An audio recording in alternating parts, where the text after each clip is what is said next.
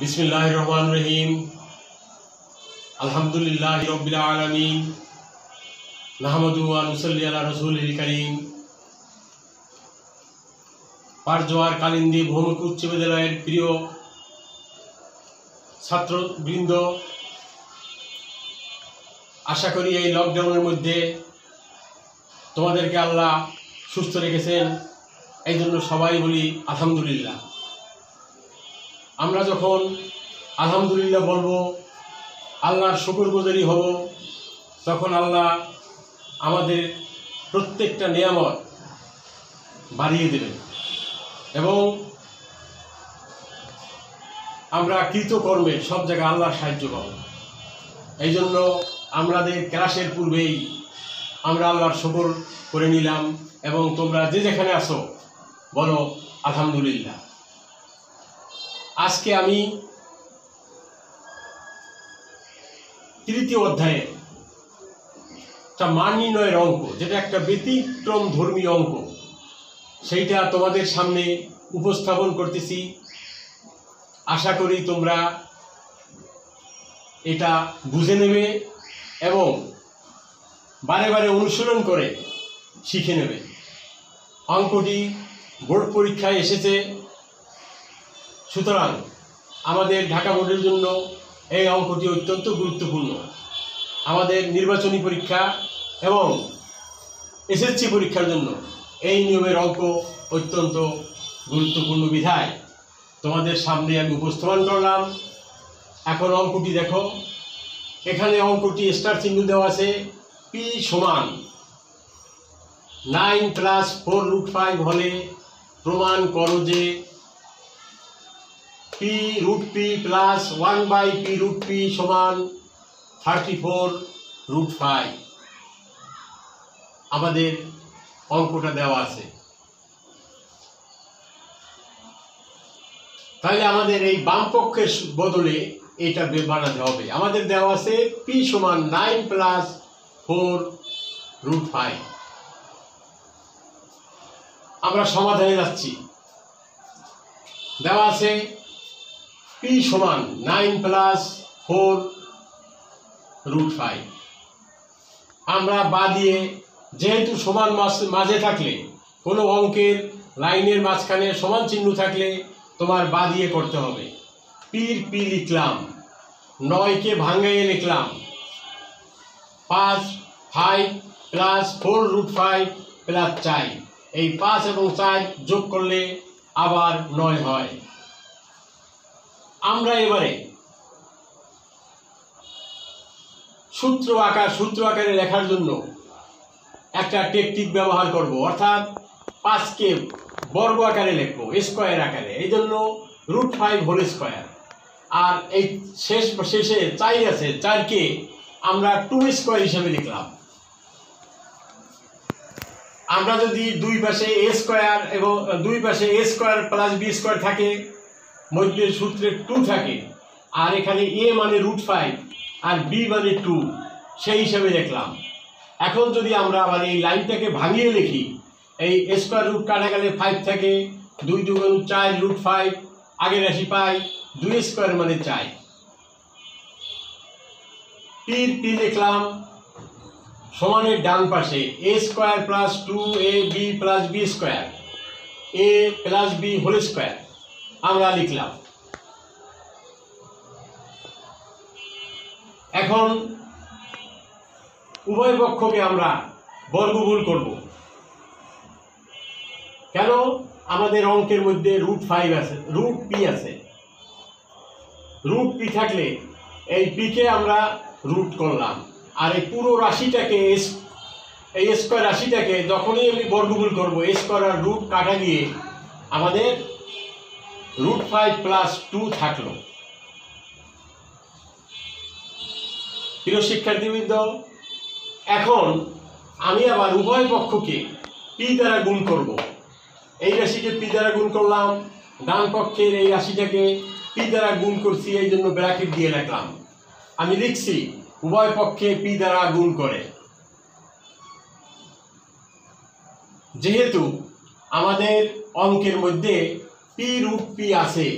এই জন্য আমরা এই পি রুট পি এর মান বের করার জন্য এই টেকনিক অবলম্বন করলাম। বাম পাশে যা আছে তাই। ডান পাশে পি এর মান বসিয়ে দিলাম।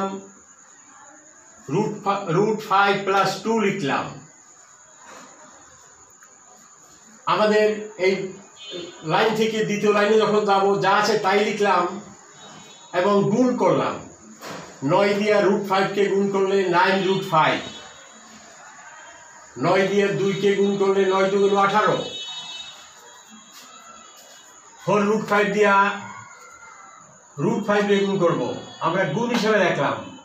Four root five into root five four root five দিয়া দুই গুণ করলে চার দুগুণ আট রুট ফাইভ গুণটা আবার আমি দেখাচ্ছি।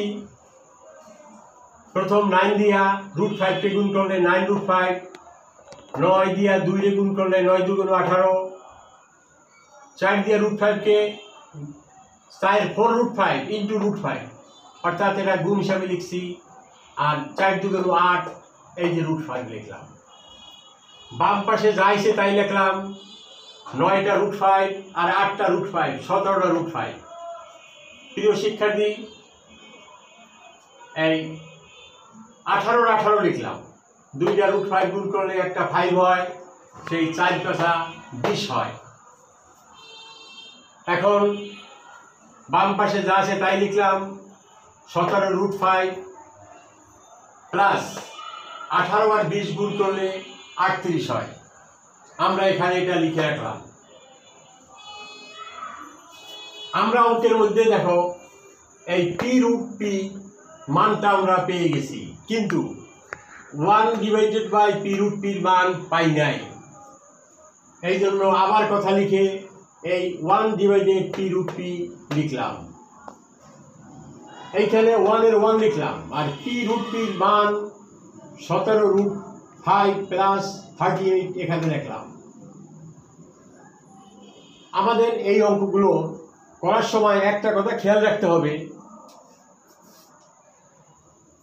নিচের রাশিটা মাইনাস যদি নিচের রাশিটা মাইনাস থাকে, তাহলে এইরকমই একটা রাশি লব হরকে, এইরকম একটা রাশি মাইনাস রাশি দিয়া লব হরকে গুণ করতে হবে।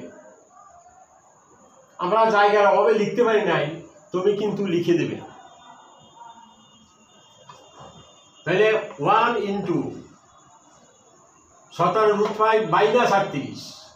আর নিচে এই রাশি যা আছে ব্র্যাকেট দিয়ে লিখলাম, নিচে সতেরো রুট ফাইভ মাইনাস আটত্রিশ লিখলাম।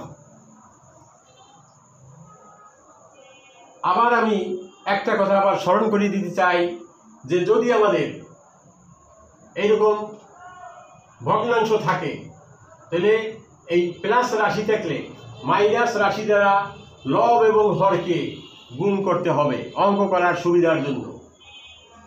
এখন ওয়ান দিয়ে এইটার গুণ করলাম। নিচে আমাদের সূত্রে গেছে।